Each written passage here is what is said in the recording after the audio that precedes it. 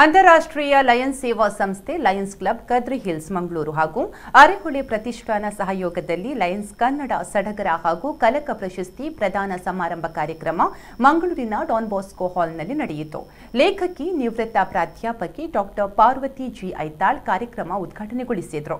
ಈ ಸಂದರ್ಭ ಮಾತನಾಡಿದ ಲಯನ್ ಕೆ ದೇವದಾಸ್ ಭಂಡಾರಿ, ಜಿಲ್ಲೆಯಲ್ಲಿ ಕನ್ನಡದ ಕಂಪನ್ನು ಪಸರಿಸುವ ಕೆಲಸ ಲಯನ್ಸ್ ಕ್ಲಬ್ನಿಂದ ಆಗಿದೆ. ಕನ್ನಡದ ಕಲರವವಾಗುವಂತಹ ಕಾರ್ಯಕ್ರಮವಾದ ಮೇಲೆ ಸಾಕಷ್ಟು ಬದಲಾವಣೆಯಾಗಿದೆ. ಹೃದಯವನ್ನು ತಟ್ಟುವ ಭಾಷೆ ಕನ್ನಡವಾಗಿದ್ದು, ಈ ಭಾಷೆಗೆ ಸಾಹಿತ್ಯ, ಕಲೆ, ಸಾಂಸ್ಕೃತಿಕ ವೈಭವದಲ್ಲಿ ನಮ್ಮ ಜಿಲ್ಲೆಯ ಕೊಡುಗೆ ಸಾಕಷ್ಟಿದೆ ಅಂತ ಹೇಳಿದರು. ಇನ್ನು ಇದೇ ವೇಳೆ ಸಾಂಸ್ಕೃತಿಕ ಸಂಘಟಕರಾದ ಶೃಂಗೇರಿಯ ರಮೇಶ್ ಬೇಕಾರ್ ಹಾಗೂ ಪತ್ರಕರ್ತೆ ಬರಹಗಾರರಾದ ಡಾಕ್ಟರ್ ಸೀತಾಲಕ್ಷ್ಮಿ ಕರ್ಕಿಕೋಡಿ ಅವರಿಗೆ ಕಲಕ ಪ್ರಶಸ್ತಿ ಪುರಸ್ಕಾರ ನೀಡಲಾಯಿತು.